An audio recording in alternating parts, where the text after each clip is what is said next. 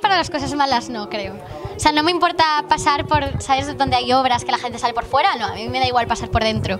Y me encantan los gatos negros y no sé qué más supersticiones hay, pero cuando veo una estrella fugaz pido un deseo, ¿sabes? Eso sí que lo hago. Es una super- las supersticiones buenas las hago. No me importa brindar con agua, por ejemplo. Creo que la suerte me la busco yo, siempre digo lo mismo.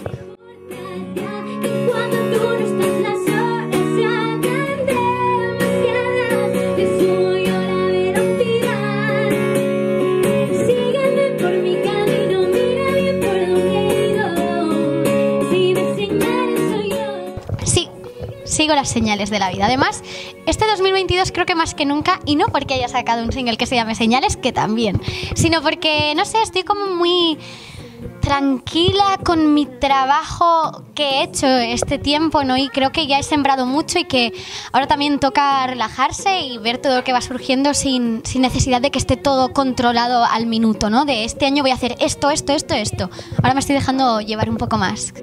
Este single, primero que me da muy buena sensación, eso de entrada. Y siempre me dan buena sensación, pero este especialmente. Es que está contado desde un punto de vista más naif, eh, más desenfadado.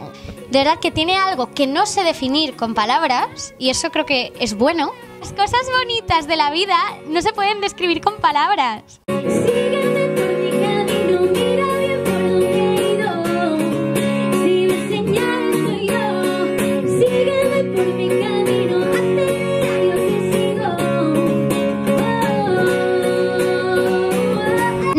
adelantar muchísima cosa porque lo estoy haciendo. No es que esté acabado y te diga, ah, yo la tengo y te puedo decir cosas. Pero sí que es verdad que, mm, que no sé, estoy, mm, estoy disfrutándolo mucho. Es mi primer disco al final, porque sí que he hecho EPs, pero no he hecho discos como tal, entero. Entonces creo que ahora que he encontrado más mi sonido y que estoy más convencida que nunca de lo que hago, creo que estoy siendo más honesta con la música y teniendo menos miedo ¿no? a, a jugar con estilos. De vez en cuando compongo canciones, se las enseño a mi productor y me dice, está bien, pero a lo mejor se parece a tal. Y le digo, ¿y qué más me da si soy yo?